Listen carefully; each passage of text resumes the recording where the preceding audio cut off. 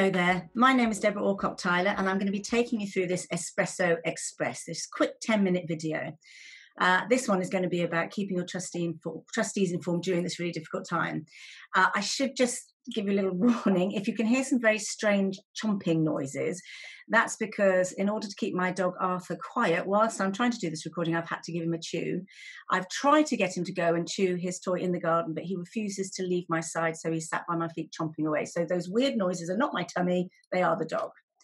Anyway, so this slide here just tells you a little bit about me, only because I think it's important that you know that um, I've been a chief executive for a very long time, so I know um, about the importance of preparing information for your trustees.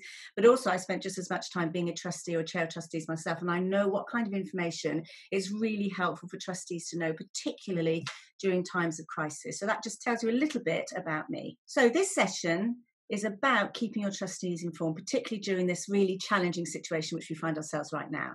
So, by the end of the session, you will understand what it is your trustees must know. You'll have an understanding of how to present that information in a useful and efficient way, as useful and efficient as possibly it can be, um, given that you're probably down to a very small number of staff at the moment and also have some ideas about the best mechanisms, the best ways of getting that information to them, of keeping them informed and updated. So, how to use this session? I recommend that you have a pen and paper to hand because there may well be things that pop into your head as you're going along that you want to jot down so you don't forget. At various points, you're going to see this little slide pop up, thinking, please wait. At that point, I want you to pause the video so that you've got some time to think, to jot down notes, ideas, questions, and so forth. And talking of questions, unfortunately, of course, this is a pre recording, so you can't actually ask me any questions, but I'm more than happy to um, answer questions that you have once you finish the recording. And you can just email them to me at dalcocktyler at dsc.org.uk or you can tweet them to me at Deb Allcock Tyler and I will do my best to answer them as quickly as I possibly can. What I want you to do now is pause the video and jot down what is it you think that your trustees need to know. And welcome back. So, what do they need to know? Well, in a time of crisis like it is now, they need to know how viable the charity is right now. Trustees have a duty to make sure that the charity can pay its way, can pay its bills, and that will be a massively pressing mind. Uh, matter in their mind. Under normal circumstances, of course, what they care about is, uh, you know, are we meeting the service users' needs or the beneficiaries, or you know, are we delivering against our cause? But right now, the most important thing for them is going to be is how viable is the charity? What is the medium and longer term financial picture looking like? So even if it looks like we're okay right now for the moment, what about in the next couple of months, in the, in the months coming ahead? Do we have any idea of what our finances are going to be? And what plans have we got in place to survive this particular crisis? What is it that we are going to do to get ourselves through it? How are those plans going? Uh, are they working? Do we have any sense of how they're working? And is there anything that we need to do differently, both now and possibly in the future? Of course, they also will want to know how the beneficiaries or service users or whoever it is that you're helping are coping and what additional things we're doing to help them. Times like this, obviously, some services are being cut because there's no money, but how are you prioritizing and making those decisions? And also, of course, our staff and volunteers, because none of us can do that without them, and trustees really do get that. So they're going to want to know how are staff and volunteers coping and what are we, what are you as a charity doing to help them keep them safe and well? So, what I want you to do is pause and have a think about the answers to those questions. What would you be telling your trustees in answer to those questions? Okay, so moving on. The first and most important thing you need to do is make sure that the information is properly understood. I think we have a tendency to shove a whole load of like data, loads of information at trustees. And uh, in fact, the more information you give people, often the less they actually understand.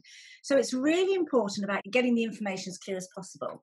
So I think visuals, graphics, and things like that is probably the most effective way to do that because then you get a, a, big picture instead of getting lost down in the details of numbers. By all means, provide numbers if you need to, but if you want to get the message understood, keep it as simple and as visual as possible.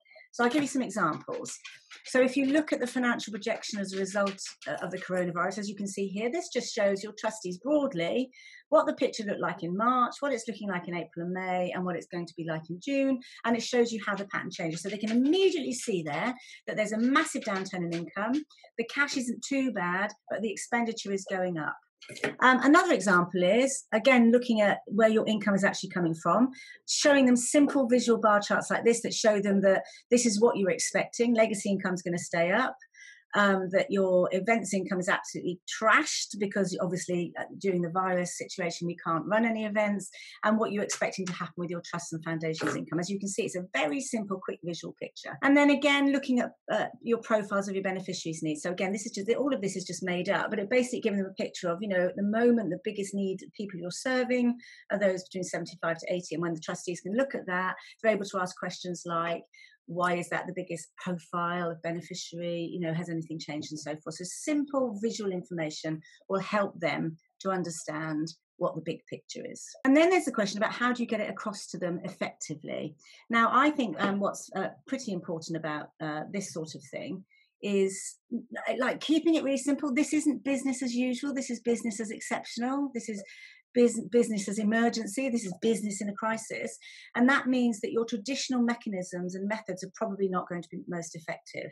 So, what I want you to do is to stop and think in your particular environment, how can you get that information to them most effectively? And welcome back.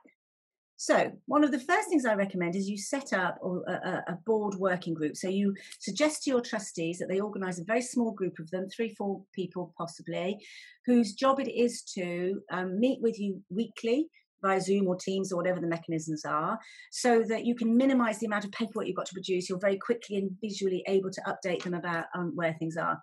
This picture of this lovely crew here is, in fact, not my trustees. Actually, this is my uh, senior team. Um, uh, but I couldn't resist it because we have, as many of you probably do, a baby always appears at every meeting, and that's little Ira there. Okay, so using modern technology, Zooms, meetings, things like that. Also, for those of you who have Teams, I recommend using Teams to kind of keep a thread of the information that's going through.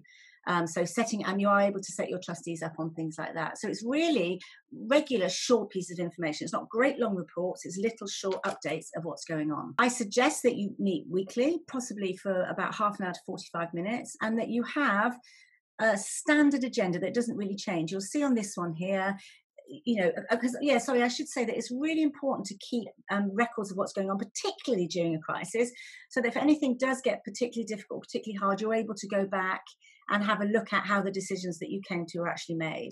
And this is just an example here of an agenda which shows you focusing on finance because that's the biggest crisis at the moment, getting the money in in order to provide the services to people who need them. Um, and then an update on basically what you're currently doing to get through this, and then an open agenda item. Normally, I would absolutely adamantly say do not have AOB or any open agenda space on your meeting. However, I think obviously the circumstances warrant something different, and this is to make it flexible so that anything that crops up can be dealt with there. What you don't want is this. This is the point. You do not want your trustees panicking.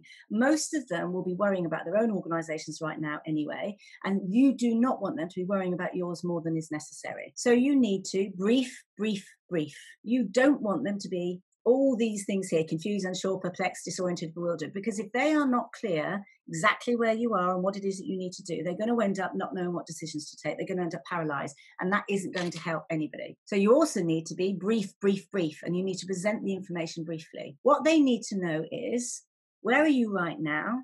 What's the immediate environment looking like? And looking further ahead even if you can't see distinctly what's coming up you've got some sense of the mountains that you have still to climb. I just want to briefly talk about your plan and to say this is what your plan probably looks like. You're starting from where we are right now and you're trying to get to the end get through this this crisis and this difficult period. But this is what will happen you need to manage yourself, your own expectations, and your trustees' expectations to say that, especially in the current environment, things are changing so quickly and so fluidly.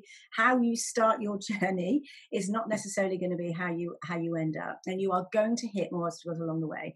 And the real trick is to be flexible, calm, and courageous. I think is probably the mantra I'd suggest. So, thank you for listening. I hope it's been helpful to you. And I say to you, please stay safe and stay well. And thank you for listening.